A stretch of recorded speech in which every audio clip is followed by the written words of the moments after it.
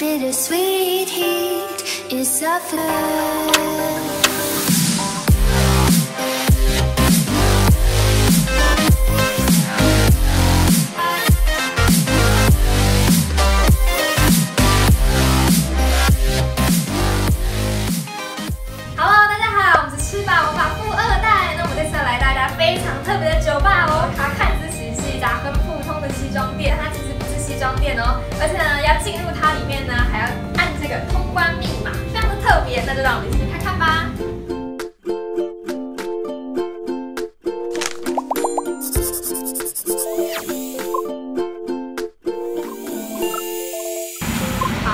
们的今天的第一杯酒，叫做 Espresso Martini。那它呢，主要是以咖啡为基底，所以喜欢喝咖啡的呢，这一杯酒就非常的适合它。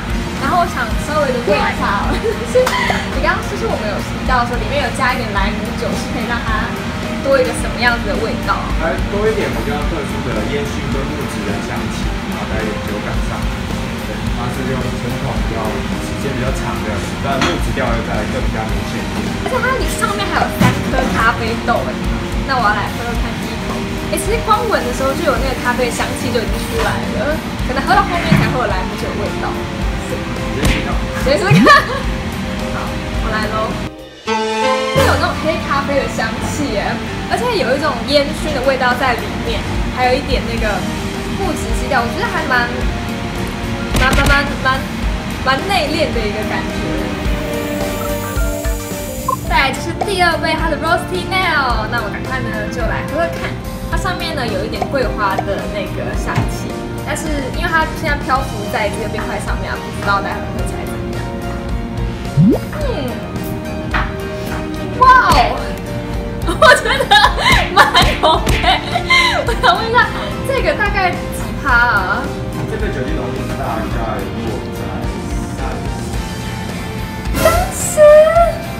们刚刚前面在蕊的时候啊，其实说我们觉得这杯酒应该会女生会蛮喜欢的。然后刚刚喝了之后，我觉得反而觉得应该男生会比较喜欢呢，因为它的浓度确实是蛮高蛮烈的，对。我们把台湾的高山落茶已经泡到 whisky 里面去，所以把那个带带一点台湾的元素。上面的这一颗冰块啊，它是故意就是让它做比较大，然后漂浮在上面，所以其实应该是要趁它融化之前把它喝完，对不对？最好是是。对啊，是这样。你可以慢慢的让它慢慢融，之后它味道会有转变性。它融了之后，那个桂花香气会越来越明显。